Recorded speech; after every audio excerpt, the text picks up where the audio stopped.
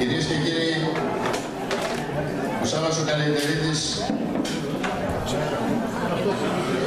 λίγο πολύ να μην πω ότι όλοι οι Έλληνες τα τελευταία 16 χρόνια ακούνε, ξέρουν ποιος είναι ο Σάββας ο Καλυτερίδης. Είναι ο Πόντιος ο Τραντέλενας. Αυτός που διακρίνεται για τον δυναμισμό του, για την τόλμη του, για τη δράση του, για τη δημιουργικότητά του. Και για την αντοχή του που είναι πάνω από ανθρώπινο.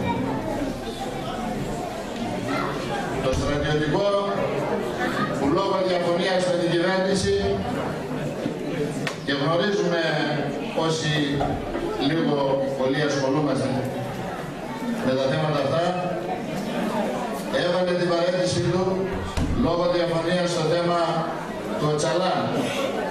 Στο Άτος δηλαδή, εκεί που ήταν και μάλιστα, αν δεν κάνω λάθος, στην αυλά της σχολή πολέμου, είχε ένα βαθμό τον οποίος σήμερα μπορούσε να είναι και αρχηγός των ενόπλων δυνάμεων μου λέει.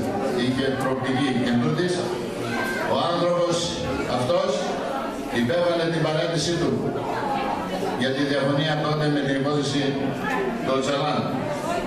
Ένας άνθρωπος ο οποίος αρθρογραφεί όσο κανείς άλλος. Ένας άνθρωπος ο οποίος συγγράφει. Ένας άνθρωπος ο οποίος μεταφράζει. Και κάποτε και σαν με ψευδόμενο, δόμενο, αν θυμάμαι καλά, Κώστας Νικοπολίτης, αν δεν κάνω λάθος. Τον άνθρωπο τον εκδότη.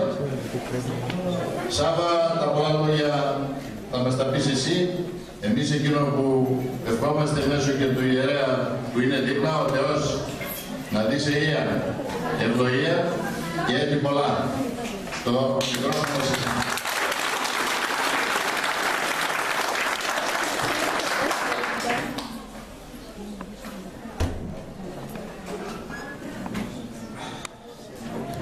Εδεσιμότατε κύριε Δήμαρχε, κύριε πρόσωποι των Σωμάτων Ασφαλείας, κύριε Πρόεδρε, κύριε Δήμαρχε, κύριε Πρόεδρε, ε, θα ήθελα να ευχαριστήσω τον ε, Πρόεδρο του Συλλόγου και το Διοικητικό Συμβούλιο για την τιμητική πρόσκληση, όπως επίσης και όλους εσάς που είστε απόψε εδώ, σήμερα εδώ, για να ε, μιλήσουμε και αν είναι δυνατόν να κάνουμε και διάλογο για το μείζο, για το μείζο αυτό ζήτημα της γενοκτονίας, όπως ε, επιγράφω τη σημερινή ομιλία, αποτελεί εδώ και οδύνη για την ανθρωπότητα. Θα προσπαθήσω να κάνω μία ιστορική αναφορά για ζητήματα που σχετίζονται με τη γενοκτονία και που μας οδήγησαν στη γενοκτονία. Ίσως σας ξενήσουν και κάποιοι ίσως θεωρήσετε ότι δεν έχουν ε, σημασία, δηλαδή απόψινή ε,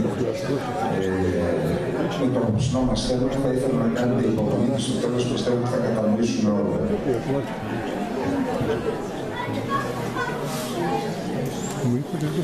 Τι είναι η γενοκτονία. Η γενοκτονία με βάση τον διεθνώς παραδεδεγμένο όρο αποτελεί οποιαδήποτε από τις ακόλουθες πράξεις η οποία διαπράγεται μόνη της ή σε συνδυασμό με σκοπό την καταστροφή εξ ολοκλήρου ή εν μέρη μιας εθνικής, εθνοτικής, φιλετικής και θρησκευτικής ομάδας. Με ποιο τρόπο; Με τη δολοφονία μελών της ομάδας, με την πρόκληση σοβαρής σωματικής ή διανοητικής βλάβης σε μέλη της ομάδας, με την εθελούσια επιβολή στην ομάδα συνθηκών διαβίωσης που αποσκοπούν στην ολοσχερή ή μερική φυσική εξόδωσή της, η επιβολή μέτρων που αποσκοπούν στην παρεμπόδιση των γεννήσεων στο εσωτερικό της ομάδας και η διαδικασία μεταφορά των παιδιών της ομάδας σε μια άλλη ομάδα. Πόλεμος. Η ιστορία της ανθρωπότητας είναι συνειφασμένη με τους πολέμους. Οι πόλεμοι συνήθως είναι κατακτητικοί. Εξ αυτού, η μία πλευρά, αυτός που διεξάγει τον, τον κατακτητικό πόλεμο είναι ο επιτιθέμενος και η άλλη είναι ο αμυνόμενος. Στη διάρκεια της ιστορίας του ελληνισμού, μιλώ στα αρχαία και τα κλασικά χρόνια της αρχαιότητας, στους πολέμους μεταξύ των πόλεων κρατών αλλά και στους εξωτερικούς πολέμους, θεσπίστηκαν αρχές και αξίες που σύμφωνα με το άγραφο δίκαιο του πολέμου, που αποτέλεσαν το άγραφο δίκαιο του πολέμου. Σύμφωνα με αυτό, ο πόλεμος διεξαγόταν μεταξύ των ενόπλων, ενώ υπήρχε σεβασμός των αντίπαλων και στους νεκρούς, εξού και η εκεχηρία που συμφωνούνταν σε κάθε μετά από κάθε μάχη για να περισυλλέξουν, να περισυλλέξουν τους εχθρούς και να θάψουν τους, τους νεκρούς οι, αυτοί που μέχρι χθες πολεμούσαν μεταξύ τους. Το δίκαιο του πολέμου. Το 17ο αιώνα αυτές οι άγραφες αρχές του δικαίου που επαναλαμβάνω αυτές υιοθετήθηκαν κυρίως στον ελληνικό κόσμο ταξινομήθηκαν στο τρίτο μου έργο το δίκαιο του πολέμου και της ειρήνης. Το έργο αυτό αποτελέ, αποτέλεσε έκτοτε τη βάση πάνω στην οποία αναπτύχθηκε το διεθνές δίκαιο το οποίο διεθνές δίκαιο ισχύει και στις μέρες μας και εξελίσσεται αναλόγως με την εξέλιξη της ανθρωπότητας. Εδώ, γιατί πολεμάει ο άνθρωπος, ο Λέων Τολστόης στον πόλεμο και η ειρήνη μας λέει με άλλα λόγια ότι πολεμάει για την εξουσία. Η παρουσία του ελληνισμού στον Πόντο και την Ανατολή.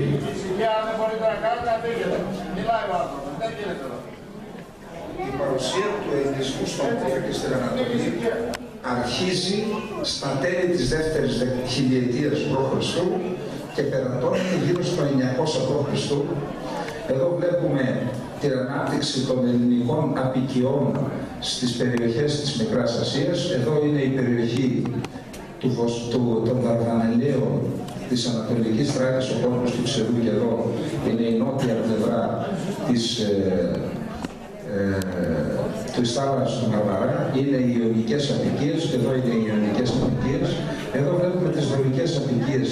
Είναι η περιοχή της Κωνσταντινούπολης και εδώ η Δωρική Εξάπολη και εδώ είναι οι Ιωνικές Απικίες οι, οι Λέσβος και απέναντι οι μικρασιατικές αυτές με τις Ιωνικές Απικίες. Τότε λοιπόν το 1000 π.Χ., το 1100, το 1200 π.Χ.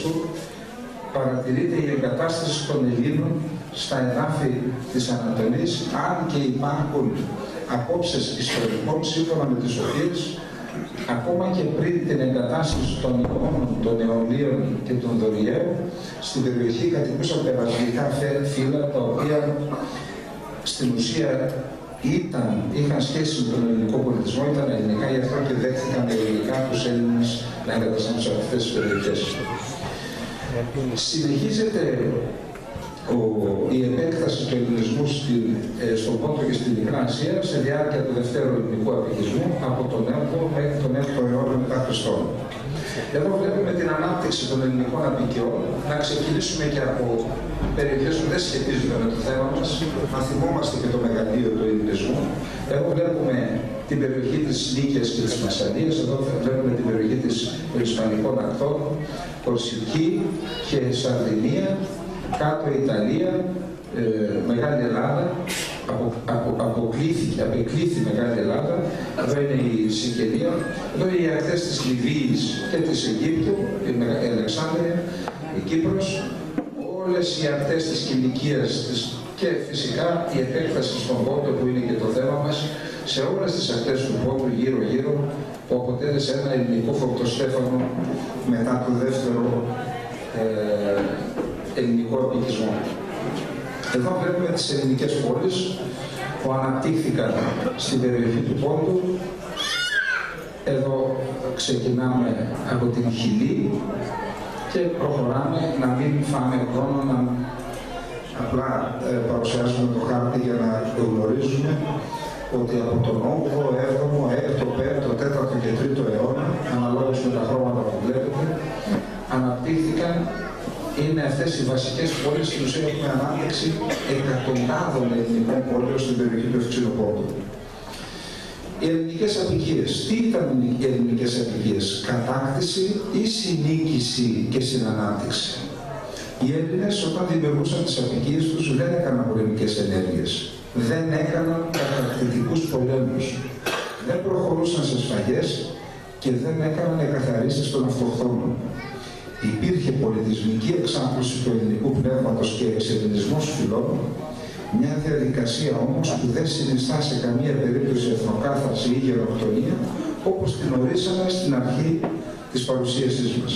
Γι' αυτό και μέχρι σήμερα όλοι οι λαοί στις περιοχές όπου υπήρχαν ελληνικές αδικίες, στο χάρτη που σας έδειξα πριν, αναφέρονται με υπερηφάνεια στην ιστορία των ελληνικών απικιών και την παρουσιάζουν αλλά και την υπερασπίζονται σαν τη δική τους ιστορία.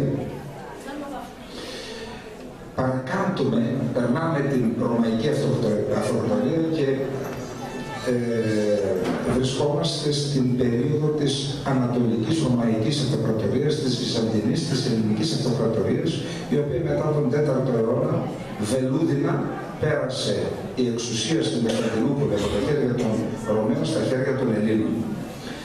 Στη διάρκεια της χιλιόχρονης ζωής της Βυζαντινής Αυτοκρατορίας, οι λαοί που κατοικούσαν μέσα στη Βυζαντινή επικράτεια δεν απειλήθηκαν με σφαγές και γενοκτονίες.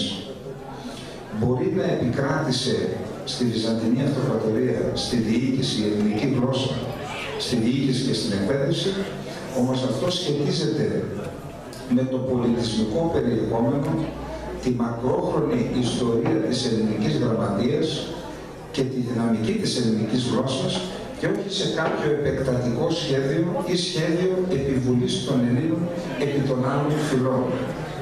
Έτσι, η ελληνική γλώσσα καθίσταται η διεθνής γλώσσα της εποχής εκτός από γλώσσα της διοίκησης και των γραμμάτων της Βυζαντινής Αυτοκρατορίας καθίσταται και η διεθνής γλώσσα της εποχής.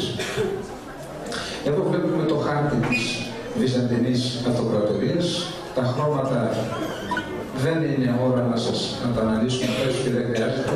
Τα χρώματα δείχνουν διάφορες περιόδους ε, της ε, Βυζαντινής διοίκησης και περνάμε στο 1071. Το 1071 αποτελεί χρονολογία σταθμό για την ιστορία του Ελληνισμού αλλά και των χριστιανικών λαών, των υπόλοιπων αυτόχθονων λαών της Ανατολής. Στις αρχές της δεύτερης χιλιετίας μετά Χριστόν εμφανίζονται στα σύνορα της Ανατολής τα πρώτα τουρκικά, σελτζουκικά φύλλα υπό τον Αρπασλάν ως εισβολής. Κανένας δεν τους κάλεσε. Το 1071, στη μάχη του Ματσικέρ, κοντά στην περιοχή του Μάν στα σύνορα με το Ιράν, ο Αρπασλάν κατορθώνει να νικήσει τον αυτοκράτορα Διογέννη τον τέταρτο του Βυζαντίου και έκτοτε οι Τούρκοι ανοίγουν τις πύλες της Ανατολής και εγκαθίστανται μόνιμα στα εδάφη της Ανατολής. Πρώτα ιδρύουν το Σουλτανάτο του Ικονίου και στη συνέχεια, μετά από μερικούς αιώνες, δύο αιώνες, δυόμισι αιώνες, ιδρύουν την Οθωμανική Αυτοκρατορία. Εδώ βλέπουμε το Σουλτανάτο του Ικονίου και εδώ είναι ο χάρτης της Βυζαντινής Επικράτειας το 1204 όταν οι Λατίνοι, οι Δυτικοί, έκαναν την τέταρτη στραφοφορία, κατέλαβαν την Κωνσταντινούπολη, την κατέστρεψαν και μετά τη λαιλάτισαν και μετέφεραν τους ελληνικούς θησαυρούς ε, στη Δύση, στη Ρώμη και αλλού και έκτοτε άρχισε η παραπνιακή πορεία της ελληνικής αυτοκρατορίας που κατέληξε στην άρρωση της Κωνσταντινούπολης και της Τραπεζούντας. Εδώ βλέπουμε την επέκταση της Οθωμανικής Αυτοκρατορίας με κατακτητικούς και εθνοκτονικούς πολέμους σε διάφορες φάσεις. Εδώ είναι οι ημερομηνίες να φύγουμε και από εδώ, γιατί αυτά ίσως θα ήταν χρήσιμα σε ένα σεμινάριο να τα διδεθούμε πιο αναλυτικά για να βγάλουμε βαθύτερα συμπεράσματα. Η άμεση της πόλης και της τραπεζούντας. Ο Σουλτάνος Μωάμεθ ο Β, ο Προφητής, το 1453, ως αποτέλεσμα των κατακτητικών πολέμων που είδαμε στην προηγούμενη διαφάνεια, καταλαμβάνει την Κωνσταντινούπολη και το 1461 πέφτει η Τραπεζούντα. Έτσι αρχίζουν οι πρώτοι σκοτεινοί αιώνες για τον ελληνισμό και για τους άλλους λαούς της Ανατολής. Ακολουθούν βίαιοι εξισλαμισμοί που είχαν ξεκινήσει πιο πριν, θα το δούμε αμέσως μετά, και η απουσία κάθε αρχής δικαίου που είχαν αρχίσει από τον 10ο αιώνα, καταστάσεις που οδηγούν σταδιακά στην πληθυσμιακή συρρήκνωση των χριστιανικών λαών και την επικράτηση του Ισλάμ και των Τούρκων σε περιοχές που κατοικούσαν παραδοσιακά Έλληνες και άλλοι λαοί τις είδαμε στις προηγούμενες διαφάνειες. Βίαιοι εξισλαμισμοί και εθνοκάθαρση για να μην θεωρούν ορισμένοι ότι θεωρητικολογούμε και ίσως να τα βγάζουμε και από το κεφάλι μας, εδώ σας παρουσιάζω ένα μνημειώδες έργο του Σπύρου Βιώνη, ένας μεγάλος Έλληνας, ο οποίος έζησε για δεκαετίες ακαδημαϊκός ε, στις Ηνωμένες Πολιτείες Αμερικής, το οποίο ονομάζεται η παρακμή του μεσαιολογικού ελληνισμού στη Μικρά Ασία και η διαδικασία εξισλαμισμού, βίαιου, λέω εγώ, όπως φαίνεται μέσα στις σελίδες, από τον 11ο μέχρι τον 15ο αιώνα. Το βιβλίο αυτό εκδόθηκε και στα ελληνικά και στα αγγλικά και αποτελεί τη βασική πηγή των Βυζαντινολόγων που θέλουν να μελετήσουν το φαινόμενο των εξισλαμισμών και της εθνοκάθαρσης σε αυτούς τους τέσσερις αιώνες. Γιατί το αναφέρομαι αυτό; Το αναφέρομαι αυτό γιατί πρέπει να συνειδητοποιήσουμε ότι η γενοκτονία δεν τη συνέλαβαν κάποια στιγμή νεότορκοι και είπαν ένα πρωί «Α, σήμερα θα κάνουμε γενοκτονία». Έχει ρίζες σε αυτό το τουρκο-μουσουλμανικό έθνος, έχει ρίζες στην Ανατολή, ανάγονται στον 11ο αιώνα και απλά το 1914 εφαρμόστηκε η τελική λύση συνέχεια των πρακτικών που εφάρμοσαν τα τουρκικά φύλλα τον 11ο αιώνα. Στην Οθωμανική Αυτοκρατορία από το 1453 και το 1461 που επικράτησαν ολοκληρωτικά οι Οθωμανοί, θα πρέπει να γνωρίζουμε ότι δεν υπήρχε κωδικοποιημένο δίκαιο. Δηλαδή μέχρι το 1839 και μέχρι το 1856 που έχουμε τις δύο πρώτες μεταρρυθμίσεις. Η πρώτη είναι το Κάντι Σερίφ, το διάταγμα των Ρόδων, εδώ, και η δεύτερη είναι το 1856 του Κάντι του Μαγιού. Μέχρι το 1000 αυτές οι μεταρρυθμίσεις, αυτές οι μεταρρυθμίσεις, οι δύο μεταρρυθμίσεις, αναγκάστηκε ο Σουλτάνος να υπογράψει αυτά τα δύο διατάγματα μετά από πολέμους με τη Ρωσία αλλά και μετά από πιέσεις των χωρών της Δύσης οι οποίες πίεζαν για τον εξυγχρονισμό της Οθωμανικής Αυτοκρατορίας. Μέχρι τότε λοιπόν ο κάθε Οθωμανός αξιωματούχος είχε το δικαίωμα να οδηγήσει στην αγχώνη οποιονδήποτε μέλος των χριστιανικών λαών της Οθωμανικής Αυτοκρατορίας χωρίς να τον προσαγάγει σε δίκη. Όσο και αν αυτό φαίνεται περίεργο, στην Οθωμανική Αυτοκρατορία υπήρχε το μουσουλμανικό έθνος, διότι τα έθνη χαρακτηρίζονταν αναλόγως με τη θρησκεία, το οποίο ήταν ανώτερο έθνος. Δηλαδή ο Χίτλερ είχε παραδείγματα για να οραματιστεί σε εισαγωγικά τον ρατσισμό και τον ναζισμό. Τα παραδείγματα τα βλέπουμε στην Ανατολή να εφαρμόζονται για αιώνες. Θεωρούσαν λοιπόν ανώτερο έθνος τους Οθωμανούς, τους Μουσουλμάνους και κατώτερα έθνη τους Χριστιανούς της Ανατολής.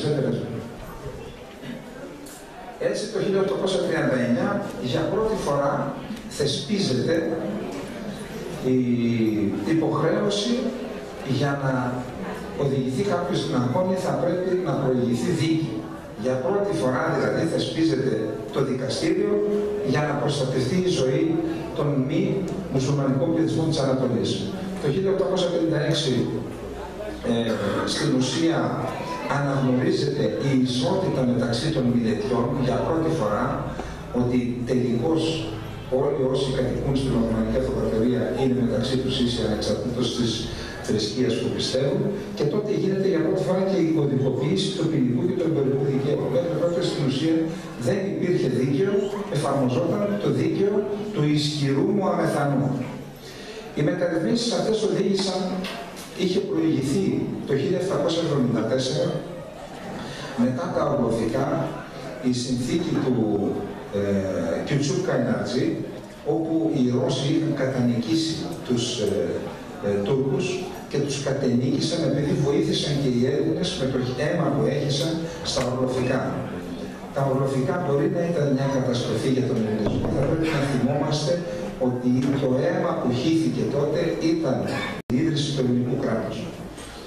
Τότε λοιπόν με, το, με την Πιτσούκα Εναρτζή, εκτός των άλλων οι Ρώσοι έβαλαν άρθρο στη συμφωνία με την οποία αναγορεύονταν ως η προστάτητα δύναμη των χριστιανών της Ανατολής. Για πρώτη φορά δηλαδή οι χριστιανοί αποκτούσαν ένα προστάτη.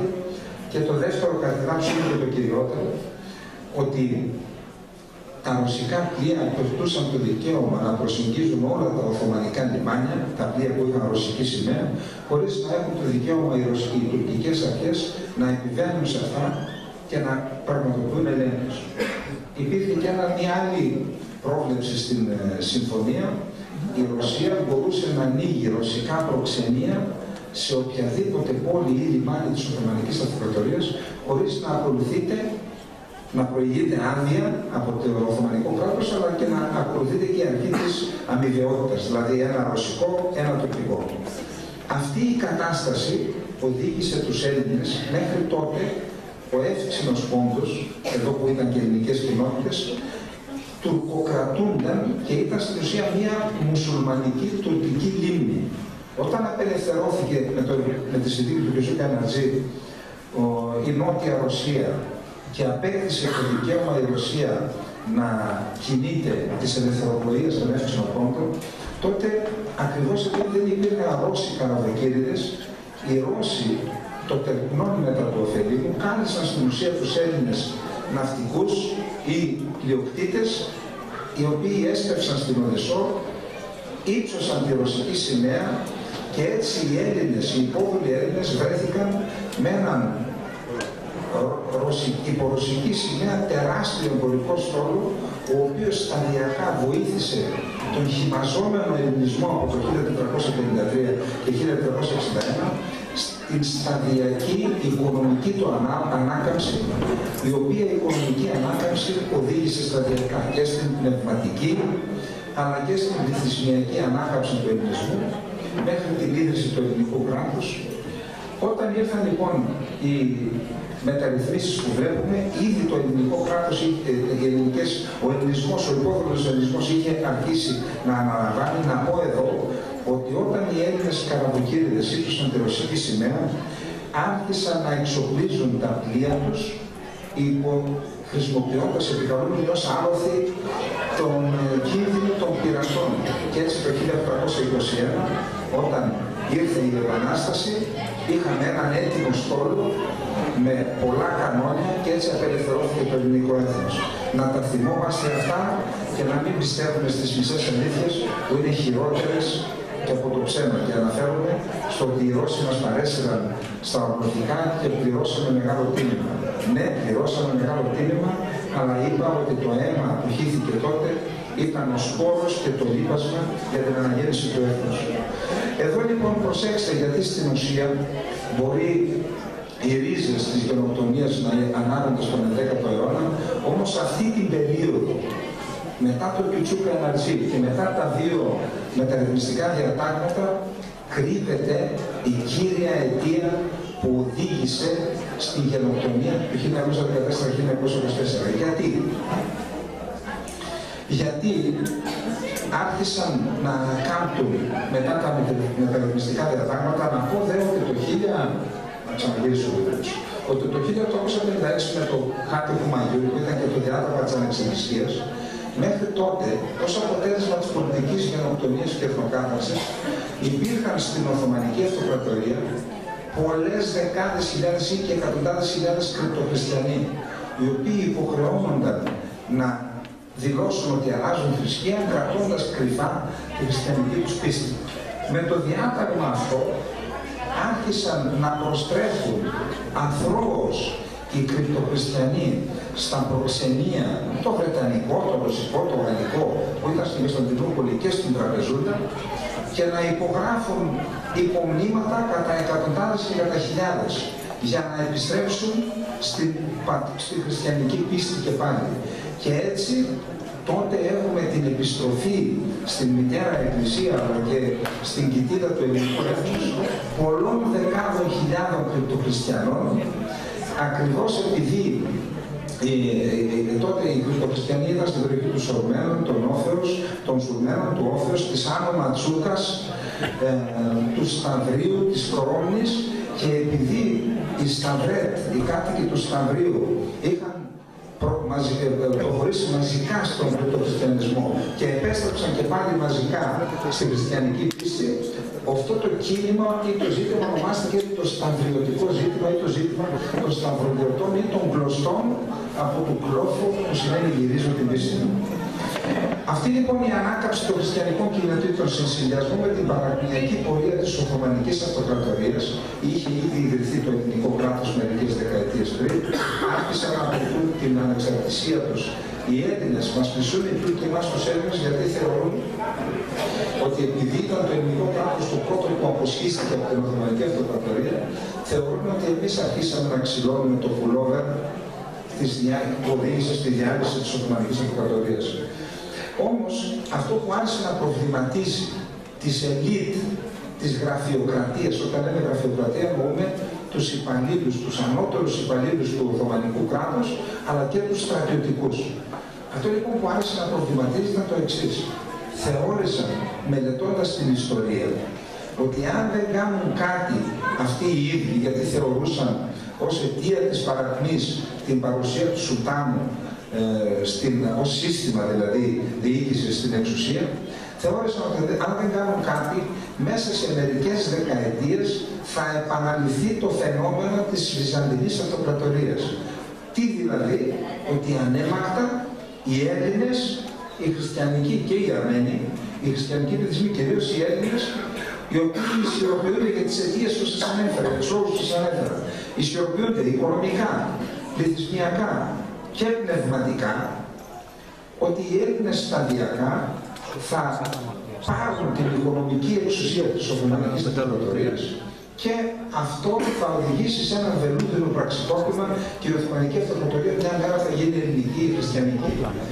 Έχοντας φτάσει λοιπόν σε αυτό το συμπέρασμα, άρχισαν να οργανώνονται μέσα στις τάξεις του Οθωμανικού κράτους, στις ανώτερες τάξεις, ενώ στους ανώτατους υπαλλήλους και τους ομαδούς, στις ελίτες δηλαδή, άρχισαν να εμφανίζονται ομαδοποιήσεις και έτσι το 1889 έχουμε την πρώτη οργάνωση, η Τιχάτη Οσμάν Τζεμιετή ονομάζεται, είναι οι προ μυστικές οργανώσεις, είναι η πρόδρομος οργάνωση των Νεοτούρκων.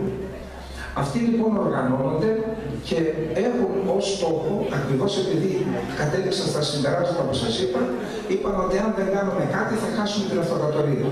Αυτό το κάτι τι ήταν, ήταν η γενοκτονία. Η ιδέα της γενοκτονίας άρχισε να τον μπαίνει, της τελικής λύσης, άρχισε να τους μπαίνει από τότε στο μυαλό, να επεξεργάζονται αυτή την ιδέα και το 1895, όταν οι Αρμένοι της Κωνσταντινούπολης έκαναν μια διαδήλωση γιατί είχαν παραβιαστεί κάποια δικαιώματά τους, τότε τους επιτέθηκαν και είχαμε τις πρώτες σφαγές. Αρχίζει δηλαδή στην ουσία από το 1895 να εφαρμόζεται το σχέδιο της γενοκτονίας. Τις 4 με 9 Φεβρουαρίου του 1902, το 1897, ο Αβδουλχαμίτ, ο Σουλτάνος της Οθωμανικής Αυτοκρατορίας, επειδή θεωρούσε τους, τα μέλη της οργάνωσης αυτής ως απειλή για το θρόνο του, συλλαμβάνει ορισμένους από αυτούς και η, η ηγετική ομάδα διαφεύγει στο Παρίσι. Και έτσι, 4 με 9 Φεβρουαρίου του 1902, πραγματοποιείται το πρώτο συνέδριο των Νεοτούρκων στο Παρίσι.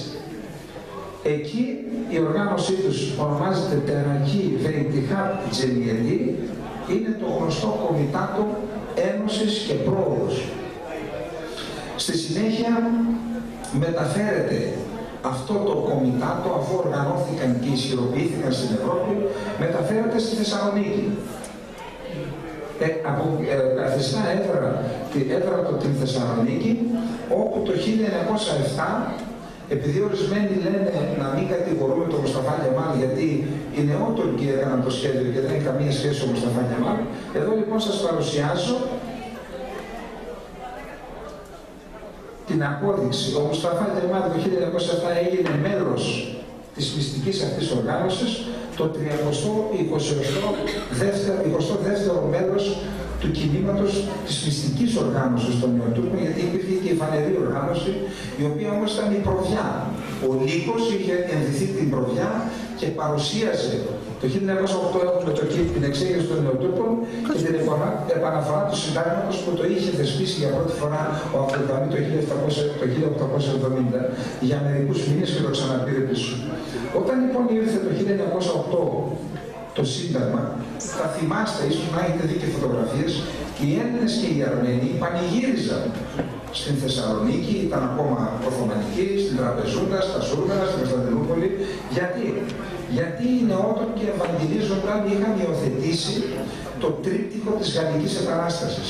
Ελευθερία, ισότης, αδελφότης. Έτσι οι Έλληνες θεώρησαν, επιτέλους ήρθε το Κουριέτ, μάλιστα είχαμε και αφήσεις στα ελληνικά, είχαμε και φωτογραφίες, λιράριδες να πανηγυρίζουν οι χριστιανικοί λαοί ότι επιτέλους ήρθε η ελευθερία για όλους τους λαούς της Ανατολής.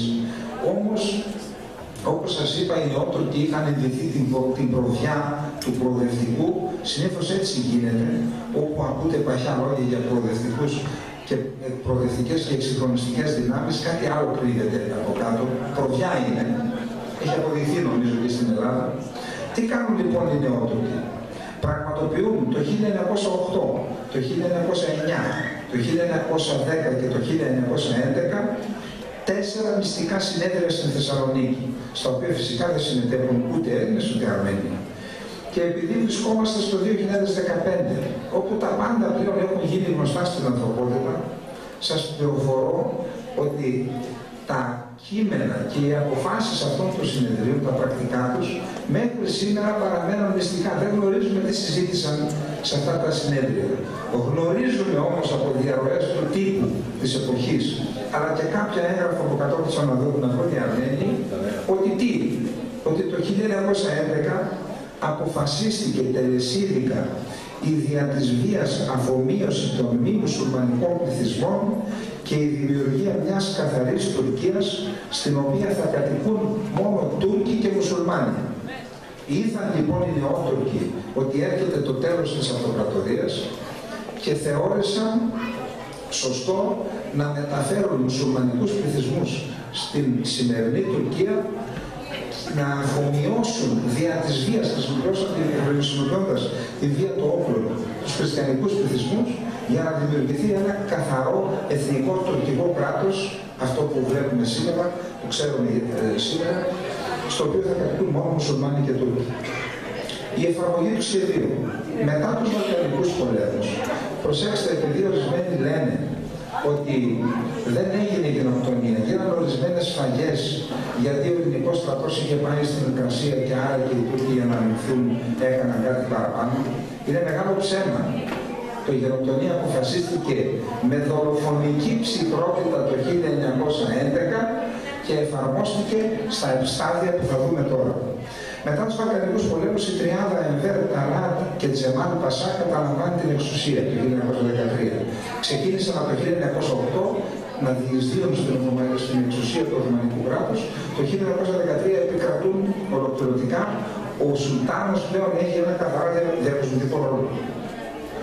Και αρχίζει αμέσως η εφαρμογή του σχεδίου γεωκτονία που αποφασίστηκε το 1911, το 1913, μόλις ε, πήραν την εξουσία, με την εγκατάσταση μουσουλμάνων των Βαλκανίων μετά το πέρας των Βαλκανικών πολέμων υποχρέωσαν μουσουλμανικούς πληθυσμούς να εγκαταλείψουν τα σπίτια τους στη Βοσνία, στην Αλβανία, στο Κόσοβο, στα Σκόπια και να εγκατασταθούν, στην, να μεταφερθούν στην Τουρκία.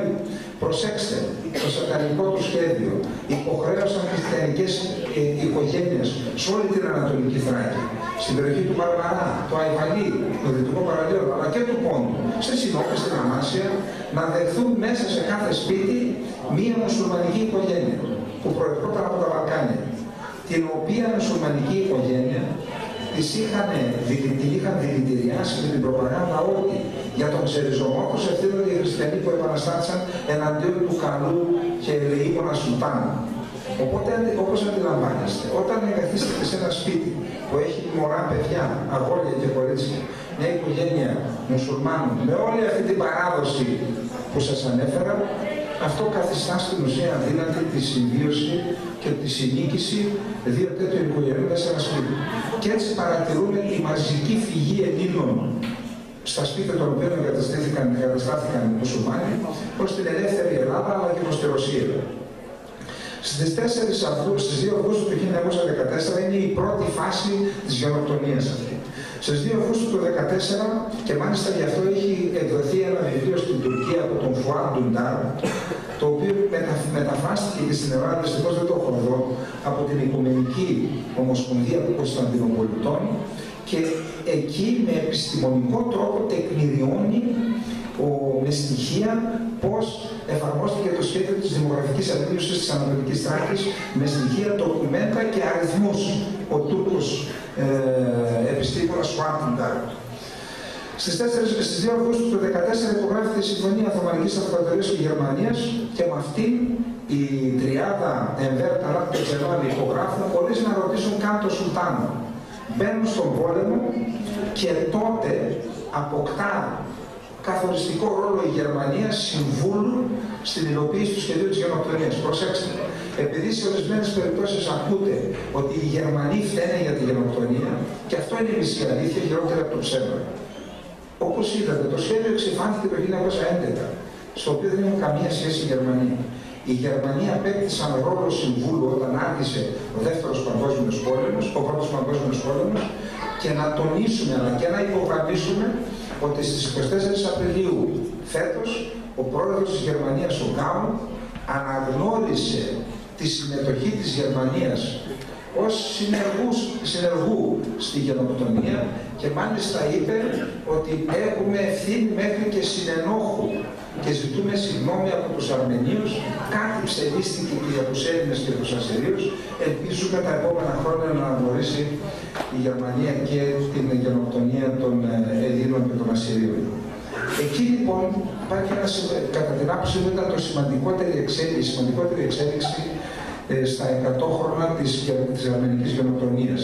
Αυτή. Γιατί; Γιατί όταν ο συνένοχος αναγνωρίζει την ενοχή του, τότε ο βασικός ένοχος, ο κύριος ένοχος, οι, οι δυνατότητες που έχει να συνεχίσει να αρνείται ελαχιστοποιούνται, μειώνονται και ελαχιστοποιούνται. Αυτό να το έχουμε υπόψη μας όσοι αγωνιζόμαστε για αυτή την ιστορία.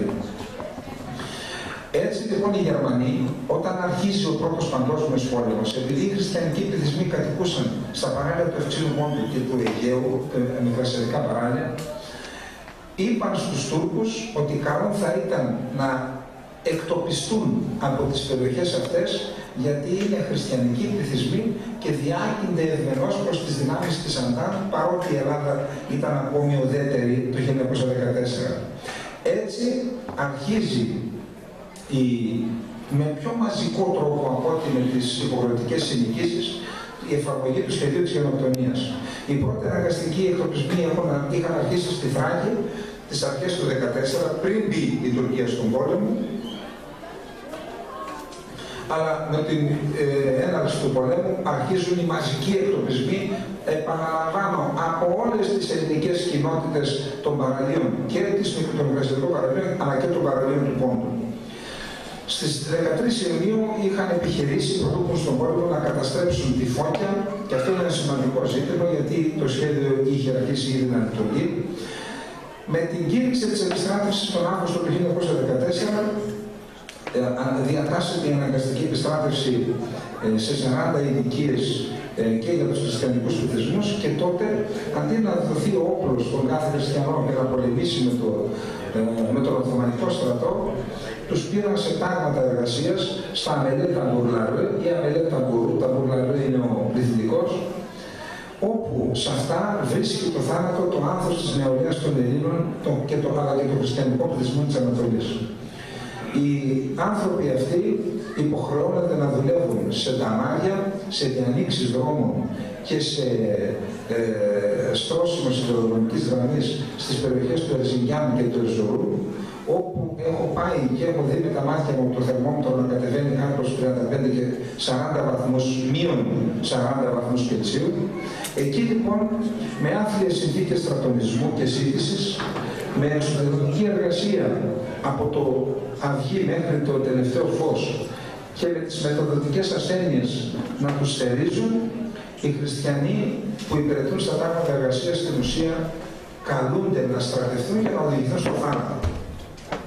Εδώ βλέπουμε ένα καραβάνι αναγκαστικού εκτοπισμού, μάλλον πρόκειται για Αρμενίους που συμμετείχαν και αυτοί σε αυτό το ταξίδι του θανάτου. Ο Πολυγόνος Ενεπικίδης το ονόμασε ε, σχεδίαζαν τους αναγκαστικούς εκτοπισμούς μόνο το χειμώνα.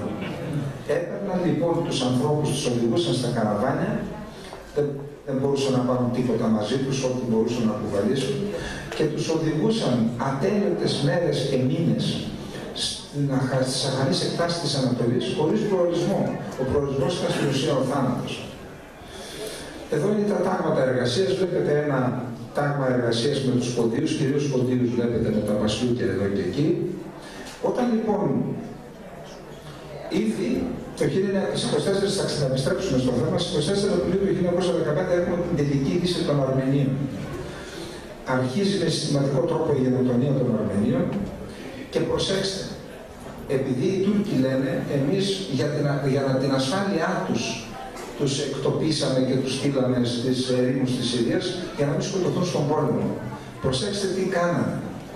Ένα μήνα μετά την έναρξη των σφαγών και των εκτοπισμών βγάζουν νόμο με τον οποίο η περιουσία κινητή και ακίνητη και οι καταθέσεις των Αρμενίων που είχαν εκτοπιστεί περνά στα χέρια του τουρκικού κράτους.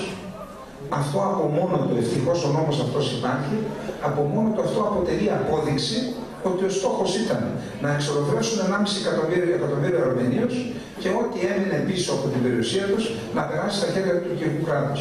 Να σας πω εδώ, στο σημείο αυτό, δεν και το εξής, ότι οι καταθέσεις των Αρμενίων πέρασαν στην διαχείριση της Ζηρά Μπαγκασί, της Αγροτική Τράπεζας της Τουρκίας. Αυτή η τράπεζα με τα ματωμένα λεφτά των Αρμενίων σήμερα έχει ανοίξει υποκαταστήματα στη Φράγκη, στην Αθήνα και στη Ρόδο και επιχειρεί τη συνέχιση του σχεδίου της γενοκτονίας στην ελληνική Θράκη. Γιατί το σχέδιο γενοκτονίας δεν σταμάτησε το 24. Συνεχίζεται κάθε μέρα από τότε μέχρι σήμερα και θα συνεχίζεται μέχρι να βρούμε το θάρρος εμείς το ελληνικό έθνος, οι Έλληνες πολίτες, να πούμε όχι και να αναγκάσουμε την Τουρκία να αναγνωρίσει τη γενοκτονία. Έτσι λοιπόν, αυτός ο νόμος αποτελεί και το κύριο διαπραγματευτικό χαρτί των Αρμενίων στην προσπάθειά τους να ε, δημιουργήσουν ένα κλειό γύρω από την Τουρκία και να την υποχρεώσουν να αναγνωρίσει. Έτσι έχασαν τη ζωή τους 1,5 εκατομμύριο Αρμένοι και 700.000 Ασσύριοι τότε το 2015. Εδώ βλέπετε τον χάρτη της ντροπής. Δυστυχώς δεν κάναμε κι εμείς οι Έλληνες ένα τέτοιο χάρτη. Τον έκαναν οι Αρμένοι.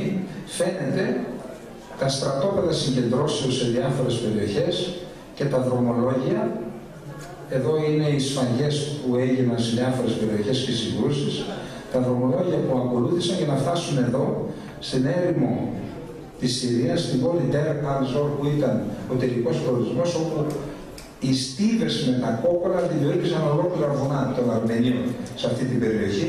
Αυτή η περιοχή τώρα την έχουν καταλάβει οι Ισλαμιστές και οι οι οποίοι εξοπλίζονται και χρηματοδοτούνται και πάλι από την Τουρκία, η οποία συνεχίζει το σχέδιο της γενοκτονίας εναντίον των χριστιανών της Συρίας και των Γεζιδίτων και των Κούρδων στην περιοχή της Συρίας.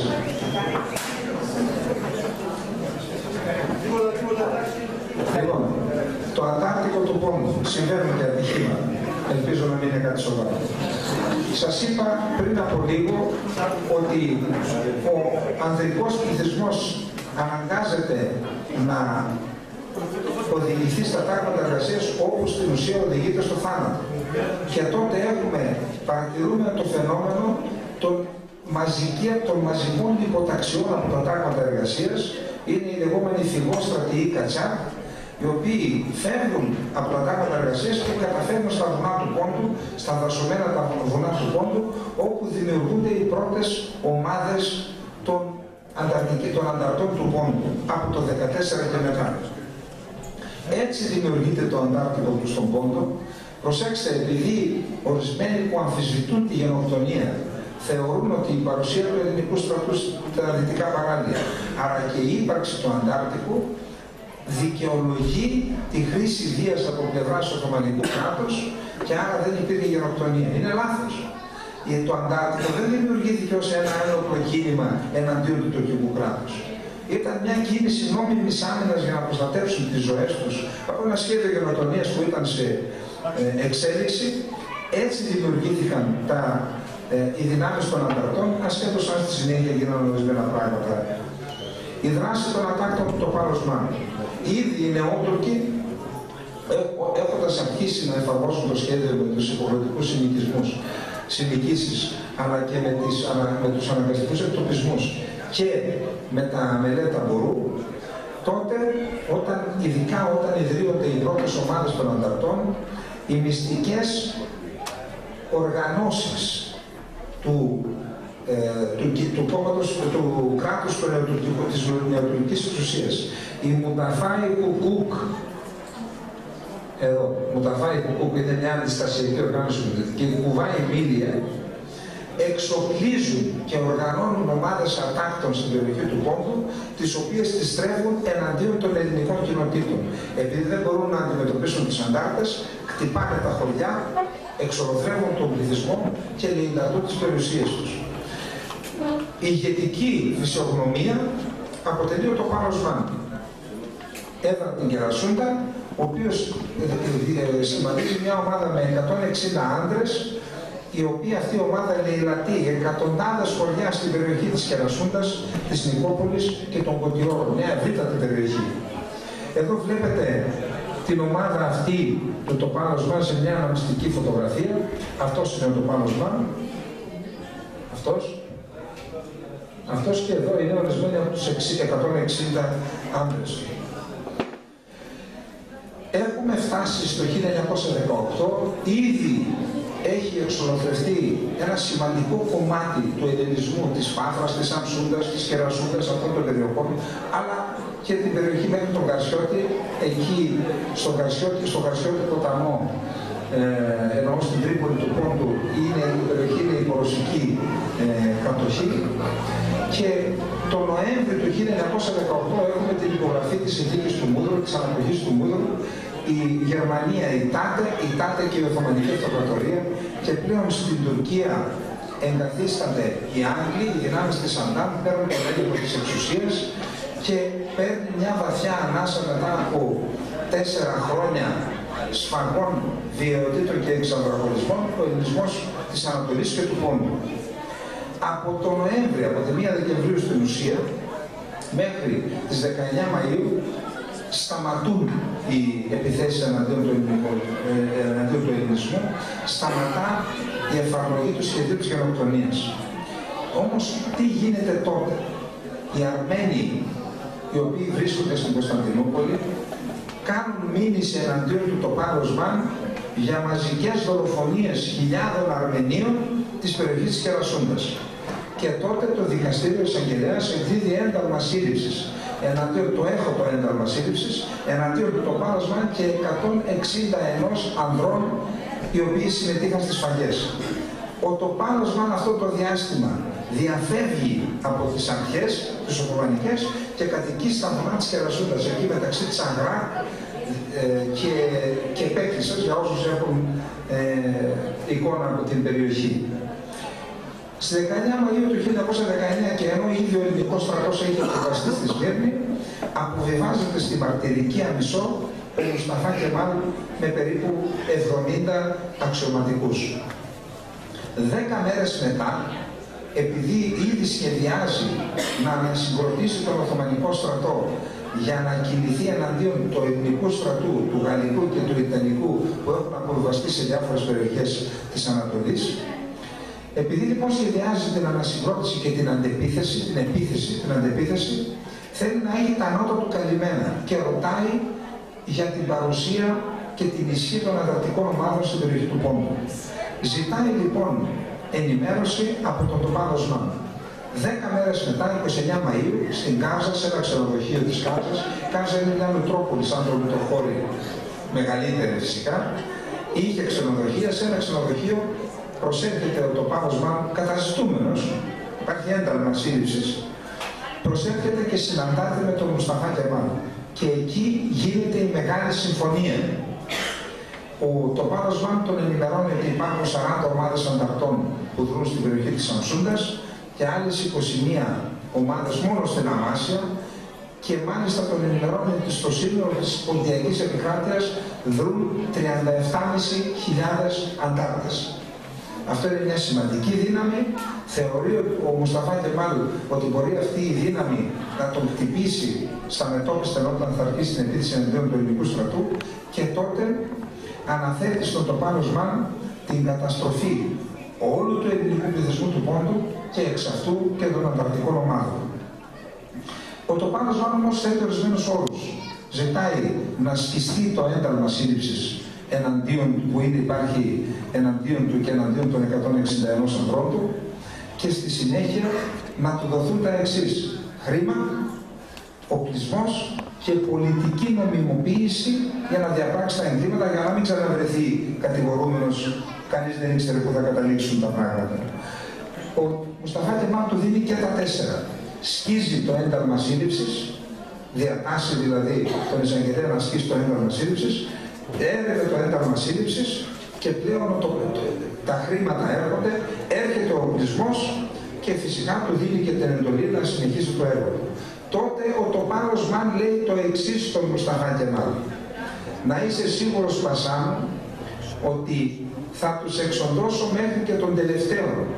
Όπως πνίγονται οι μέντισες μέσα σε μια σπηλιά που τους τριμώχνουμε και τις ανάβουμε φωτιά και καπνό και τις πνίγουμε, έτσι θα πνίξω και τον τελευταίο Έλληνα στον κόσμο. Και μετά από αυτό αρχίζει η τελευταία πιο δυνηρή και πιο δυνηρή φάση της γενοκτονίας, αυτή που άρχισε με την παρουσία του Μουσταφά και στην εξουσία, γι' αυτό και η 19η Μαΐου η ημέρα μνήμης της γενοκτονίας του ποντιακού ελληνισμού. Σας είπα πιο πριν για την τριάδα των δολοφόνων, της θανατηφόρα τριάδα, Ενβέρ, Τανάτ και Τζεμάλ. Εδώ έχουμε τη δεύτερη τριάδα. Αυτό είναι ο Ισμέτιν Ονού, πρωτοπαλίκαρο του Μουσταφά Κεμάλ. Αυτός είναι ο διεστραμμένος Μουσταφά Κεμάλ και αυτός είναι το ανθρωπόμορφο τέρας ο Τοπάνος Μάν, ο οποίος σημειωτέων τον σκότωσε ο ίδιος ο Κεμάλ το 1924 αφού τον έβαλε να σκοτώσει τον Σουκρού Ντέι, έναν βουλευτή της Τραπεζούντας και για να μην αποκαλυφθεί η εμπλοκή του Κεμάλ σκότωσε τον Τοπάνος Μάν, είχε δηλαδή το τέλος που το άξιζε. Η τελευταία περίοδος γενοκτονίας, αφού για 5-6 μήνες ησύχασε ο ελληνισμός, με την παρουσία του Μουσταφά Κεμάλ στην Σαμσούντα, αρχίζει η δεύτερη και πιο σκληρή περίοδος της γενοκτονίας.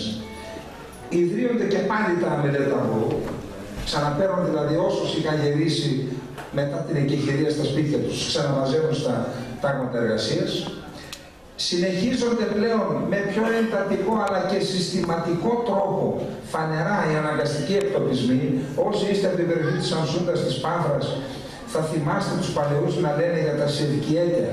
Σευκιέτ είναι η πρώτη ε, το πρώτο Σευκιέτ, το δεύτερο Σευκιέτ, το τρίτο Σευκιέτ ήταν η πρώτη μαζική αναγκαστική εκτοπισμή των ελληνικών πληθυσμών από αυτές τις περιοχές. Συνεχίζονται και οι λαϊλασίες και οι σφαγές με οργανωμένο τρόπο. Ανέφερα γιατί ο τοπάλος μάλλον τα χρήματα, τα όπλα κτλ. Και φυσικά έχουμε και τη σύσταση των δικαστηρίων εξαρτησίας, η Στιχκλάρ Μαχκεμελερή, στα οποία οδηγούνται η, οδηγείται η αφρόκρεμα του ποντιακού ελληνισμού. Ιερείς, Μητροπολίτες, ε, πρωτοσύγγελοι, απλοί ιερείς, δικηγόροι, δάσκαλοι, βουλευτές που ήταν στο Οθωμανικό Κοινοβούλιο, έμποροι, κεφαλαιούχοι, δημοσιογράφοι. Αυτά συστήνονται τον ε, Σεπτέμβριο του 1921 και σε αυτά χάνει τη ζωή του η αφρόκρεμα του ποντιακού ελληνισμού. Εδώ να πούμε το εξής, ότι ο, το Πάνωσμαν, ενώ είχε 160 άνδρες μέχρι το, την ανακοχή, όταν πήρε την νομιμοποίηση από τον Μουσταφά Κεμάλ, δημιούργησε πρώτα ένα σύνταγμα εθελοντών και στη συνέχεια ένα δεύτερο σύνταγμα εθελοντών. Και τότε ενθαρρυθέντες οι Τούρκοι και οι Ιένες, ξέρετε, από τη Λία, προσέτρεξαν και επάνδρωσαν τα δύο αυτά συντάγματα γιατί, γιατί όσοι συμμετείχαν στα συντάγματα, όταν επέστρεφαν από τις επιδρομές, επέστρεφαν και με πλούτο. Λαιλατέπαιναν στα σπίτια και ό,τι ήταν πολύτιμο το άρπαζαν και στην ουσία ήταν συντάγματα αρπάγων. και λαιλατών αυτά τα συντάγματα, γι' αυτό και οι καταστροφές αυτή την περίοδο είναι τεράστιες. Εδώ βλέπετε φωτογραφία από τα δικαστήρια εξαρτησίας. Είναι ένα ντοκουμέντο, τους περνούσαν με συνοπτικές διαδικασίες, χωρίς κατηγορητήριο, χωρίς συνηγόρους, με συνοπτικές διαδικασίες και οδηγούνταν στις αγώνες οι αφρόκλημα του ποντιακού ελληνισμού. Η κατάρρευση του εκκλησιαστικού μετώπου, ενώ συνεχίζεται το σχέδιο της εξόντωσης του ποντιακού ελληνισμού, στις 29 Αυγούστου του 1922 παρατηρείται η κατάρρευση του μετώπου, του μικρασιατικού μετώπου, μια κατάρρευση που προϊονίζεται το τέλος του ελληνισμού, της παρουσίας του ελληνισμού, της τρισχιλιόχρονης παρουσίας του ελληνισμού στη θράκη της Θράκης του Πόντου και της Ανατολής. Έχουν ήδη εξοντωθεί 323.000 Έλληνες του Πόντου και άλλοι τόσοι και περισσότεροι αναγκάστηκαν να καταφύγουν στον Κάφκασο και τη Ρωσία. Έχουν επίσης εξοντωθεί περισσότερο από ένα εκατομμύριο Έλληνες της Θράκης και της Ανατολής. Το τέλος. Στις, 20, στις 24 Ιουλίου του 1923 υπογράφει η συνθήκη της Λοζάνης, η οποία ορίζει τα σύνορα μεταξύ της Ελλάδος και της Τουρκίας. Ειδικό παράδειγμα προβλέπει την αναγκαστική ανταλλαγή των πληθυσμών. Έτσι, έχουμε 1,5 εκατομμύριο Έλληνες να εγκαταλείπουν τις αιστείες τους από τη Θράκη, τον Πόντο και την Ανατολή και να έρχονται στην Ελλάδα, στις περιοχές που πήγαν όχι ως εισβολείς και κατακτητές, το είπαμε στην αρχή, γι' αυτό το αναφέραμε, και αναγκάζονται να εγκαταλείψουν την Ελλάδα 500.000 μουσουλμάνοι, οι οποίοι όμως ήρθαν εδώ ως κατακτητές. Ποτέ δεν τους καλέσαμε και δεν ήρθαν ως εκπολιτιστές. Αυτά γιατί ορισμένες φορές λένε ότι εντάξει, χάσαμε εμείς πατρίδες, χάσαν και αυτοί οι πατρίδες. Δεν είναι έτσι ή τέλος πάντων δεν είναι ακριβώς έτσι. Έχουμε λοιπόν το τέλος του ελληνισμού της Ανατολής ολοκληρώνεται το 1924. Εδώ πιστεύω φτάνουμε στο πιο κρίσιμο σημείο της απόψινής διάλεξης. Να δούμε τι έκαναν οι Αρμένοι. Οι Αρμένοι αμέσως μετά την ήττα των Οθωμανών, την υπογραφή δηλαδή της συνθήκη του Μούδρου, κάνουν ένα κατάλογο με τους πρωταγωνιστές, με αυτούς που έπαιξαν πρωταγωνιστικό ρόλο στην γενοτονία των Αρμενίων. Και έτσι παλικάρια Αρμενόπουλα αρχίζουν το κυνήγι, συντάσσουν ένα σχέδιο επιχειρήσεων που λέγεται σχέδιο Νέμεσης, βάζουν μάλιστα ελληνική λέξη που είναι η απονομή της δικαιοσύνης και έτσι έχουμε στις 15 Μαρτίου του 1921 ο Σοργομών Τελχειριάν σκοτώνει τον Ταρά Πασά στο Βερολίνο, τον Υπουργό Εσωτερικών, αυτός ο οποίος εφάρμοσε το σχέδιο της γενοκτονίας στην ουσία. Στη, μάλιστα, ο Σοργομών Τελχειριάν μέσα στο Βερολίνο, στη μέση του δρόμου τον σκότωσε. Συναμβάνεται, οδηγείται στο δικαστήριο, στο γερμανικό δικαστήριο, προστρέχουν οι Αρμένοι αλλά και άλλοι κύκλοι της γερμανικής κοινωνίας που έβλεπαν συμπάθεια τους Αρμενίους στο δικαστήριο, ο Τελβιριάν ομολογεί ότι έκανε το έγκλημα, ότι εκτέλεσε τον Ταράν Πασά, όμως λέει ότι το έκανε κάτω από το βάρος που ένεθε στην πλάτη του για τη γενοκτονία που υπέστη ο λαός του από αυτό το ανθρωπόμορφο πέρασε. Και έτσι, για πρώτη φορά πιστεύω, στα δικαστικά χρονικά της ανθρωπότητας, το δικαστήριο αθωώνει ομόφωνα τον Τελχειριάν κάτω από τις επιθυμίες Αρμηνίων και Γερμανών που είναι στο δικαστήριο. 18 Ιουλίου του 1921 ο Μισάκ Τορλακιάν σκοτώνει στην Κωνσταντινούπολη τον Υπουργό Εσωτερικών του Αζερβαϊτζάν με Πεγούντ Χάν Τσιβανσίρ, υπεύθυνο για τη σφαγή 20.000 Αρμενίων στον Πακού όταν μπήκαν οι Οθωμανοί στον Πακού. 5 Δεκεμβρίου του 1921 ο Σιρακιάν σκοτώνει το ηγετικό στέλεχος των Νεοτούρκων Σαΐτ Χαλίν. 17 Απριλίου του 1922 οι Σιρακιάν και οι Γερμανοί σκοτώνουν στο Βερολίνο τον Παχαϊτίν Σαγκύρ, ένα ανθρωπόμορφο τέρα, αλλά και τον πρώην ομάδι της τραπεζούντας Τσεμάλα Ασμή, ο οποίος συνέλαβε υπόψη ότι στην τραπεζούντα υπήρχε ισχυρή αρμενική κοινότητα, είχαν και ένα μοναστήρι, το μοναστήρι του Καϊμακλή, τους συνέλαβαν όλου, τους οδήγησαν, υποτίθεται, προς εκτοπισμό και τους σκότωσαν όλου στην περιοχή της Άνω Ματσούκας. Δεν ξέρω αν έχουμε εδώ ανθρώπους που κατάγονται από εκεί. Οι παλαιοί έλεγαν που σκότωσαν τους Αρμενίους και μάλιστα φοβόντουσαν ότι αφού φεύγουν αυτοί μετά θα έρθει η σειρά μας. Στις 20 Στις 25 Ιουλίου του 22 οι Ταζικιάν, Μπογοσιάν και οι Κεβορκιάν σκοτώνουν τον Τζεμάλ Πασιά, το δεύτερο της Τριανδίας, στην Τυφλίδα, πρωτεύουσα της Γεωργίας. Στις 4 Αυγούστου του 1922 ομάδα Αρμενίων, Μπορσεβίκων, σκοτώνει τον Εδέρ Πασά στη Σαμαρκάνδη, στο Τουρκεστάν. Και στις 26 Αυγούστου του 1926 ο ίδιος λίστα που είχαν συντάξει Αρμένοι για το σχέδιο της Νέμεσης. Να δούμε όμως τι έκαναν οι Έλληνες, τι κάναμε εμείς και τι έκανε ο Ελληνισμός γενικότερα για να διαχειριστεί το ζήτημα της γενοκτονίας.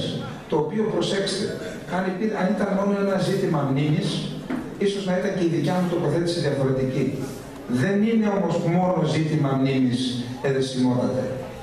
Είναι ένα πολιτικό και γεωπολιτικό αλλά και εθνικό ζήτημα. Γιατί, Γιατί ακριβώς επειδή δεν ορθώσαμε το ανάστημα ως έθνος απέναντι στην τουρκική βαρβαρότητα υφιστάμεθα από το 1923 μέχρι σήμερα τη συνέχιση του σχεδίου γενοκτονίας που όπως θα δείτε στη συνέχεια ακολούθησε διάφορες φάσεις και συνεχίζεται μέχρι σήμερα. Γιατί η κατοχή της Κύπρου, οι αμφισβητήσεις στο Αιγαίο και τα έσχη που γίνονται στη Φράκη αλλά και η εθνοκάθαρση που είναι σε εξέλιξη στην Κωνσταντινούπολη δεν είναι τίποτα άλλο από τη συνέχιση του σχεδίου γενοκτονίας του ελληνισμού. Τι έκανε λοιπόν ο ελληνισμός; Το, μίλησα προχθές με τον Κώστα το Φωτιάδη που είναι και συντοπίτης σας και του ζήτησα να μου επιβεβαιώσει γιατί το διάβασα σε ένα βιβλίο το γεγονός που θα σας πω τώρα και μου το επιβεβαίωσε μου είπε μάλιστα ότι έχει τα πρακτικά της Βουλής και θα τα δημοσιεύσει σε ένα από τα επόμενα βιβλία του.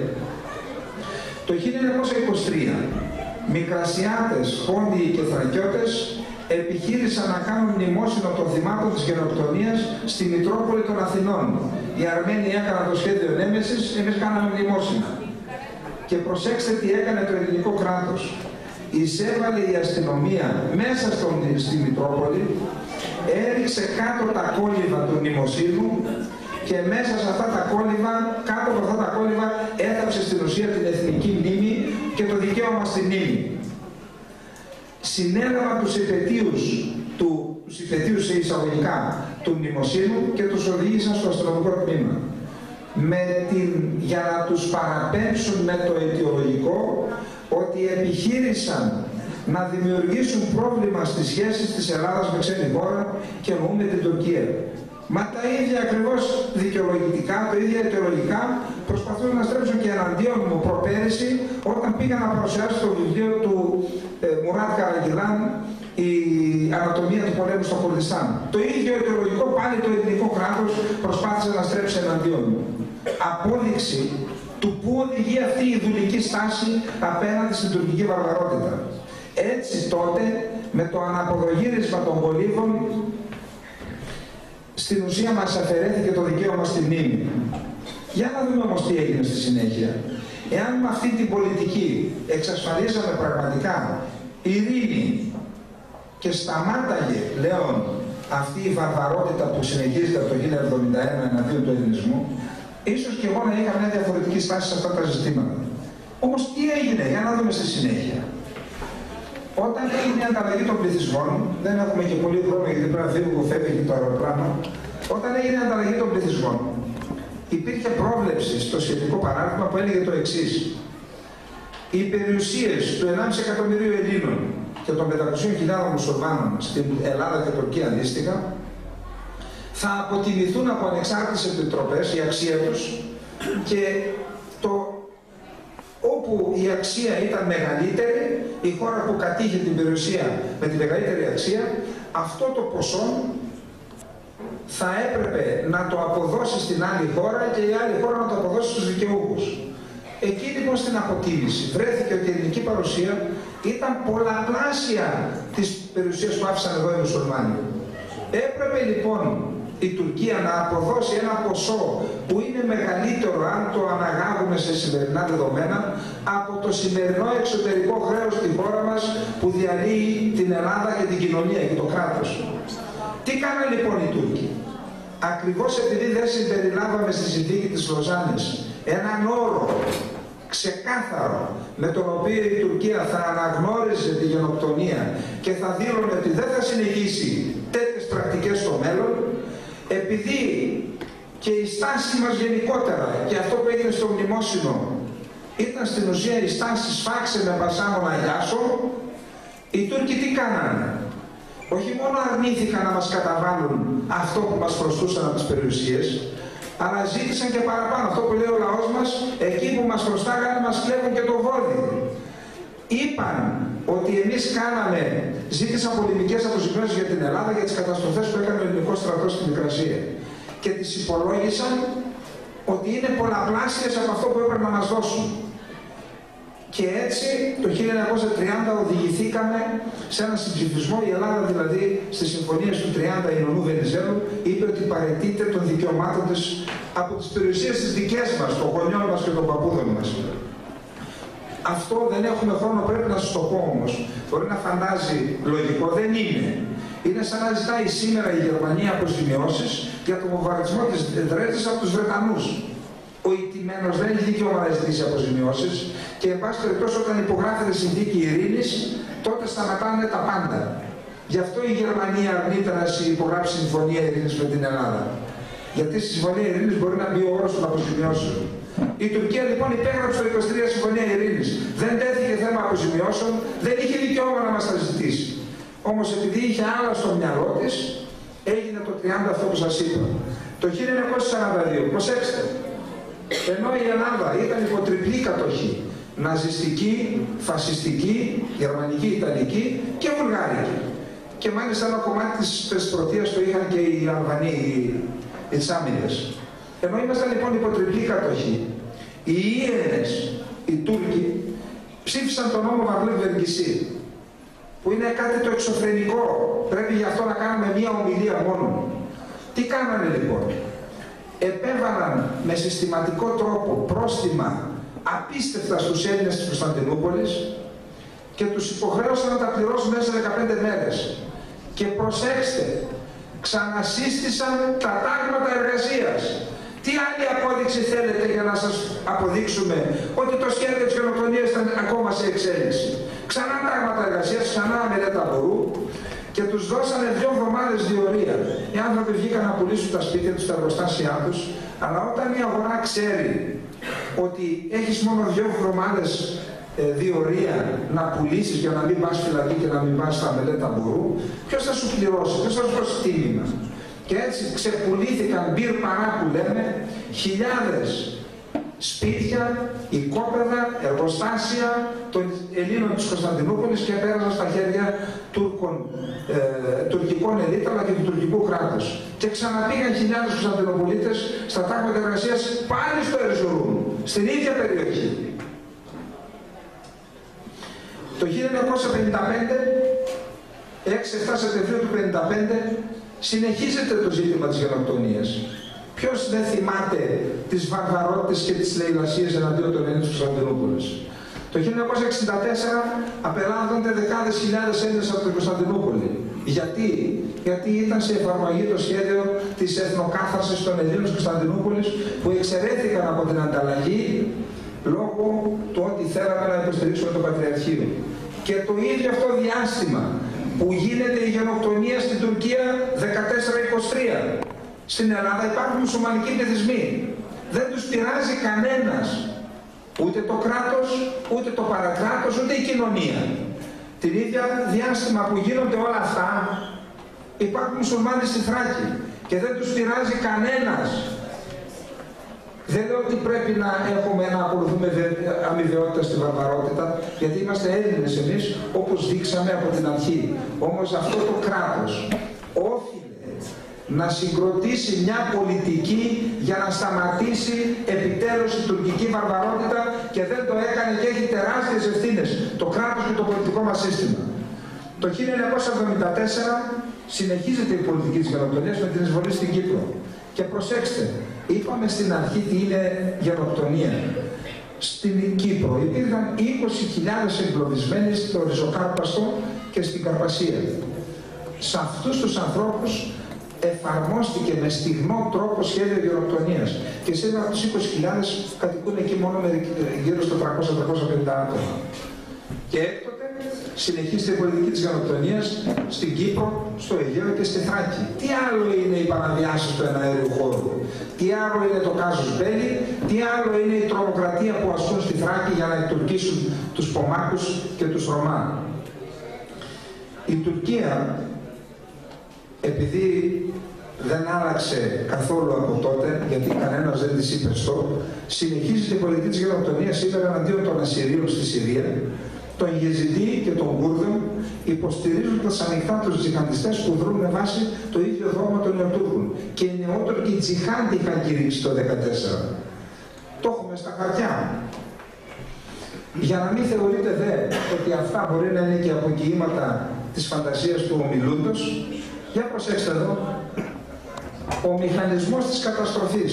Ο Σπύρος Βριώνης έγραψε ένα βιβλίο ντοκουμέντο, επιστημονικό βιβλίο, στο οποίο αναλύει το μηχανισμό της καταστροφής από το 24 και μετά όπου εμείς ακολουθούμε την πολιτική των αποδογυρίσματος των κολύβων και του σφάξε με πασάμου να γιάσω, οι Τούρκοι έγραψε αυτό το βιβλίο που αποδεικνύει την συνέχιση της γενοκτονίας στα ελληνικά και στα αγγλικά η ανάκτηση του δικαιώματος στη μνήμη.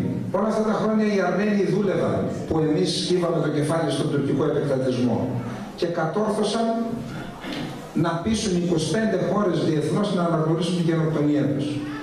Εμείς για πρώτη φορά έσκησε το πέπλο της σιωπής ο Πολυχρόνης Ενεπεκίδης, ένας μεγάλος ιστορικός, Σαμσούντιος, το 1962, αν δεν κάνω λάθος, γράφοντας ένα βιβλίο, ένα σύγγραμμα μικρό για τη γενοκτονία και αναφέροντας για πρώτη φορά τον όρο γενοκτονία. Τότε γράφεται και το βιβλίο «Το Πάλος Μάν» από τον Λαμσίδη, ο οποίος και αυτός αναφέρει στον υπότιτλο του βιβλίου «Η γενοκτονία του παντιακού ελληνισμού». Έτσι περνάμε στη δεκαετία του 80, τώρα δεν θέλω να αναφέρω πολιτικά, αλλά είναι αλήθεια ότι τη δεκαετία του 80 αρχίζει να ζωντανεύει, να αναζωπυρώνεται το ζήτημα της εθνικής μνήμης για μια σειρά από ζητήματα, μεταξύ αυτών και το ποντιακό ζήτημα. Και στις 24 Φεβρουαρίου του 1994 η Ελληνική Βουλή ξεπλένει μέρος της ντροπής που προανέφερα και αναγνωρίζει τη 19η Μαΐου ως ημέρα μνήμης της γενοκτονίας του ποντιακού ελληνισμού. Το 1998 αναγνωρίζεται η 14η Σεπτεμβρίου ως ημέρα μνήμης του της γενοκτονίας του μικρασιατικού ελληνισμού. Εδώ φυσικά υπάρχει ένας διχασμός, ε, θα έλεγα και ίσως και σχιζοφρένεια. Τι θα λέμε στους ξένους, αναγνωρίζετε δύο γενοκτονίες; Εδώ κάποια στιγμή, Πρόεδρε, σε κλειστές πόρτες πρέπει να το συζητήσουμε αυτό το θέμα. Μπορεί να υπάρχουν κάποιες δικαιολογητικέ σκέψεις, όμως οι εξελίξεις μας προσπερνούν. Και θα πω γιατί τώρα σε λίγο, τελειώνω. Το 2007 η Διεθνής Ένωση Μελετητών Γενοκτονιών αναγνώρισε επίσημα τη γενοκτονία Ελλήνων μαζί με τη γενοκτονία των Ασσυρίων. Στις 9 Σεπτεμβρίου, προσέξτε εδώ θα σας πω Ενώ λοιπόν είχαμε αυτές τις δύο δεκαετίες, ενώ είχαμε, ενώ είχαμε τις δύο δεκαετίες, ενώ του 80 και το 90, αυτές τις κινήσεις που επιστεγάστηκαν, ως επιστέγασμα είχαμε την αναγνώριση των γενοκτονιών, της γενοκτονίας των Ελλήνων του Πόντου και της Μικράς Ασίας, αμέσως μετά άρχισε στην καρδιά του ελληνικού κράτους, στο βαθύ ελληνικό κράτος, αλλά και στο πολιτικό σύστημα που μας οδήγησε εδώ που μας οδήγησε, άρχισε μια πορεία αντίστροφη, να ακυρωθούν οι αναγνωρίσεις και στην ουσία να ξαναπάμε εκεί που ήμασταν. Απόδειξη, υπάρχουν πολλές αποδείξεις. Σας θυμίζω τον Ρουβά που ήθελε 19 Μαΐου να πάει να τραγουδήσει στα κατεχόμενα.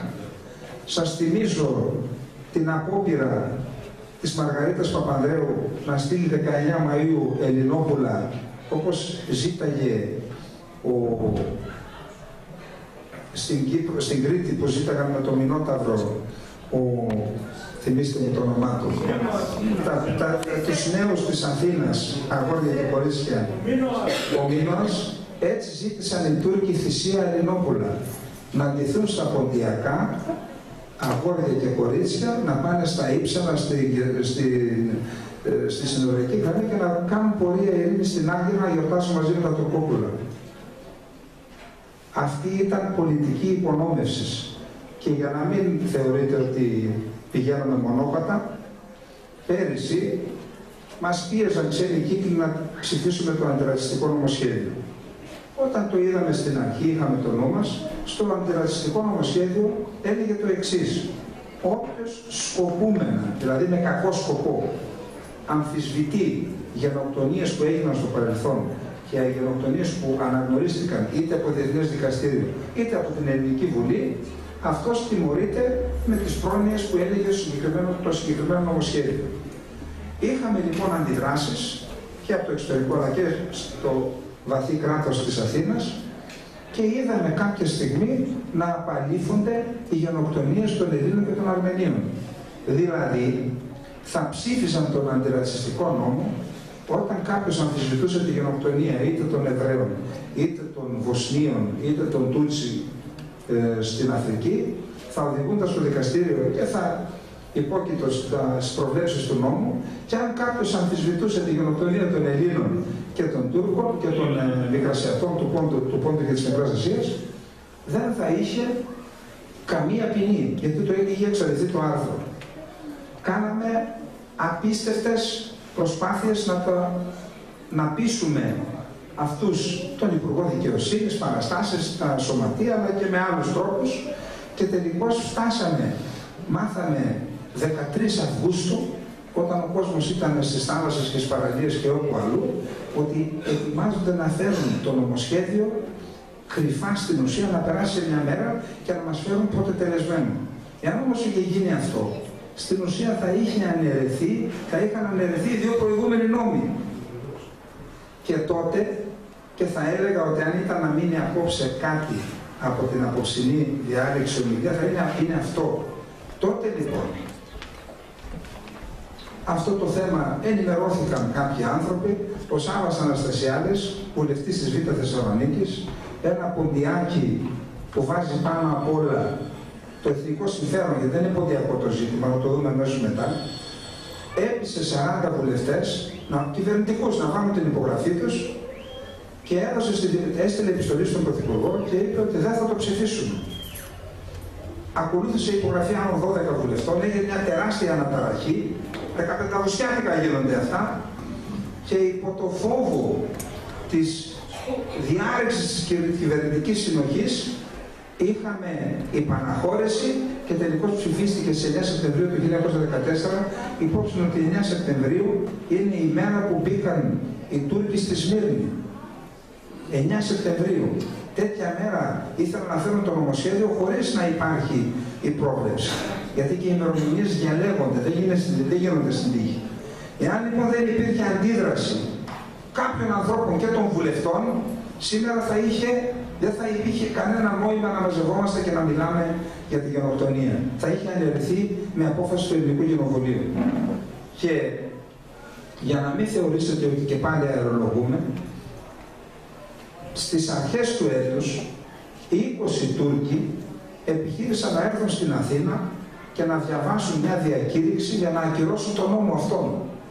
Και τότε πάλι κάποιοι άνθρωποι τους πήραμε χαμπάρι, μα ειδοποίησαν από την Τουρκία, κινητοποιήσαμε το κράτος, πάλι ο Αναστασιάδης με κάποιους ανθρώπους, τους μπακαρώσαμε στο αεροδρόμιο και τους ξαναστήραμε πακέτο πίσω. Δεν ξέρω αν το θυμάστε, είχα γράψει και σχετικά. Και δεν ξέρω και πώς υπάρχει την ποντιακή γνώμη για να ενημερώνεστε για αυτά τα ζητήματα. Λοιπόν, για να Πάμε λοιπόν, τελειώνουμε. Στρατηγική. Κυρίες και κύριοι, σε τέσσερα χρόνια κλείνουν 100 χρόνια, συμπληρώνονται 100 χρόνια από, την, από το 1919, τότε που άρχισε η τελευταία και πιο συντηρή φάση της γενοκτονίας. Στις 24 Απριλίου, ξέρω αγρότες είστε, αλλά εν πάση περιπτώσει, επειδή έχουμε ευαισθησίες, εγώ αγρότης είμαι, στην ουσία, είδαμε όλοι εκατοντάδες διανοούμενους γίγαντες του παγκόσμιου θέματος στις 24 Απριλίου του 2015 να γράφουν συγκλονιστικά άρθρα για τη γενοκτονία των Αρμενίων. Να δημιουργούν μια τεράστια πίεση στη διεθνή κοινή γνώμη για να στραφεί αυτή στις κυβερνήσεις τους και οι κυβερνήσεις να αναγνωρίσουν τη γενοκτονία των Αρμενίων και είχαμε αλυσίδα αναγνωρίσεων και δηλώσεων και η Τουρκία αναγκάστηκε να αποσύρει πρέσβεις από εδώ και από εκεί, είδατε ότι έγινε ένας, ε, ένα μεγάλο ζήτημα. Αναδείχθηκε το, το ζήτημα της γενοκτονίας των Αρμενίων, οι οποίοι οι Αρμένοι μάλιστα αναγνώρισαν τη γενοκτονία του ποδιακού ελληνισμού των Ελλήνων γενικότερα, μια πράξη την οποία φρενάριζε το ελληνικό Υπουργείο Εξωτερικών για να μην χαλάσουμε τη σχέση με την Τουρκία. Εν πάση περιπτώσει, έχουμε, καταρχάς πρέπει να δούμε τα δικά μας ζητήματα, Μικρασιάτες και Πόντι, και να κάνουμε μια κοινή στρατηγική με τους Αρμένιους και τους Ασσύριους, να αναζητήσουμε συμμαχίες διεθνώς και προσέξτε, να αναζητήσουμε και συμμαχίες στο εσωτερικό της Τουρκίας. Στο σημερινό μου άρθρο στην εφημερίδα Κυριακάτη και Δημοκρατία, όσοι το διαβάσατε, αναφέρομαι σε ένα κόμμα που έχει ιδρυθεί στην Τουρκία, οι Κούρδοι το ίδρυσαν, ο Αμπτουλά Χοζαμά μέσα από τη φυλακή είπε να ιδρυθεί και είπε να μην είναι κουρδικό το κόμμα. Σε αυτό το κόμμα να βρουν μια φιλόξενη στέγη όλοι οι γενοκτονημένοι λαοί της Τουρκίας, της Ανατολής. Και το κόμμα αυτό λέγεται ΧΑΝΤΕΠΕ, το Δημοκρατικό Κόμμα των Λαών της Ανατολής. Αυτό το κόμμα στις 24 Απριλίου έκανε επίσημες δηλώσεις και ζήτησε από το τουρκικό κράτος να αναγνωρίσει τη γενοκτονία. Και είχαμε εκδηλώσεις σε δεκάδες πόλεις της Τουρκίας για τη γενοκτονία. Κάτι που ήταν αδιανόητο μέχρι πριν από λίγα χρόνια. Πρέπει λοιπόν να τα βρούμε μεταξύ μας, εννοώ Μικρασιάτες Πόντι, πολίτες και πολιτικό σύστημα, να δώσουμε το μήνυμα καταρχάς στο πολιτικό σύστημα να πάψει να υπονομεύει, να κάνουμε κοινή στρατηγική με Αρμενίους και Ασσυρίους, να αναζητήσουμε συμμάχους στο εσωτερικό της Τουρκίας, να σας θυμίσω ότι ένας αρθρογράφος στη Ραδικάλ προχθές έγραψε το εξής 24 Απριλίου. Ακόμα και να μας συγχωρήσουν οι Αρμένοι, δεν θα μας συγχωρήσει ο Θεός. Εκεί είναι η συμμαχή μας λοιπόν. Και μετά από όλα αυτά να δημιουργήσουμε ένα κύματα αναγνωρίσεων παγκοσμίως και όλα αυτά τα κύματα να αποτελέσουν ένα κλειό που θα σφίγγει γύρω από την Τουρκία. Και αν γίνει αυτό, η Τουρκία θα υποχρεωθεί, αν γίνει αυτό, η Τουρκία θα υποχρεωθεί αφού το αναγνώρισε πλέον η Γερμανία, κάποια στιγμή σε συνδυασμό, ο κλειός σε συνδυασμό με τους εσωτερικούς συμμάχους που πρέπει να ζητήσουμε, θα υποχρεωθεί η Τουρκία να αναγνωρίσει και αυτή τη γενοκτονία. Όμως αυτό δεν είναι μόνο ηθικό ζήτημα. Δεν χρωστάμε μόνο σε αυτούς που φύγανε. Χρωστάμε στα παιδιά μας, στα εγγόνια μας, αλλά και σε αυτούς που θα έρθουν. Και αν πετύχουμε αυτό, πέραν της ηθικής διάστασης, προβάλλει και αναδεικνύεται η εθνική, η πολιτική και η γεωπολιτική διάσταση. Ότι μια Τουρκία που θα αναγνωρίσει τη γενοκτονία είναι στην ουσία υποχρεωμένη να βάλει τέλος και στις πολιτικές γενοκτονίες.